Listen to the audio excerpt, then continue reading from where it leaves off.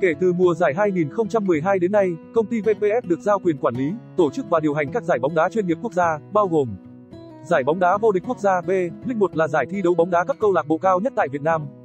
Giải bóng đá hạng nhất quốc gia B, League 2 là giải thi đấu bóng đá cấp câu lạc bộ cao thứ hai tại Việt Nam.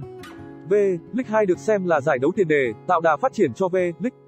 Giải Cúp Quốc gia là giải đấu quy tụ tất cả các câu lạc bộ bóng đá chuyên nghiệp, bao gồm các đội thi đấu tại V, League 1 và V, League 2. Sau 10 năm, VPF đã tổ chức 10 mùa giải BDCNQG với 2.674 trận đấu diễn ra đảm bảo công tác an ninh an toàn với 7.747 bàn thắng, 13 triệu 331.502 khán giả đã trực tiếp đến sân theo dõi các trận đấu và hàng triệu khán giả theo dõi trên các kênh truyền hình trực tiếp. Theo VPF, trung bình khán giả đến sân tại giải vô địch quốc gia khoảng 7.000 người trận, giải hạng nhất quốc gia khoảng 2.000 người trận, cúp quốc gia khoảng 3.500 người trận. Về kết quả kinh doanh, tổng doanh thu năm 2022 của VPF dự kiến đạt 110 tỷ, đạt 100,5% so với kế hoạch. Lợi nhuận trước thuế dự kiến 500 triệu đồng, đạt 100% so với kế hoạch thông tin trong Đại hội đồng cổ đông thường niên năm 2022 tổ chức ngày 27 tháng 12 vừa qua. Trong nguồn thu của VPF, các khoản tài trợ của các doanh nghiệp, nhãn hàng đóng vai trò rất quan trọng.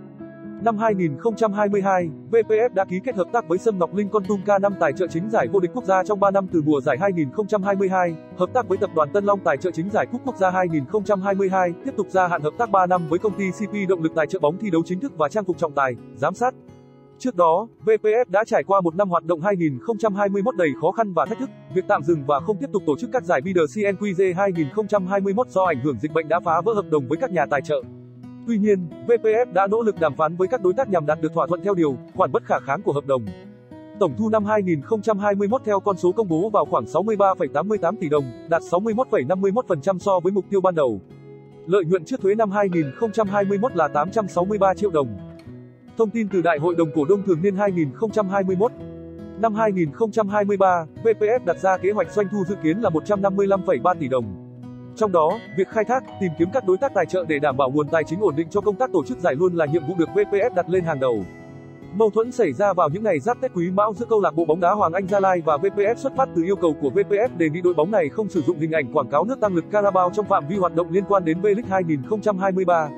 Theo đó, đội bóng Hoàng Anh Gia Lai không được đặt bảng quảng cáo trên sân, logo trên áo đấu, hoạt động bên lề ngày tập luyện và thi đấu chính thức. Trong khi đó, câu lạc bộ bóng đá Hoàng Anh Gia Lai vừa mới công bố nhà tài trợ mới là nhãn hàng Carabao sản phẩm của tập đoàn Carabao, công ty lớn thứ hai trong lĩnh vực nước tăng lực tại Thái Lan được mấy hôm.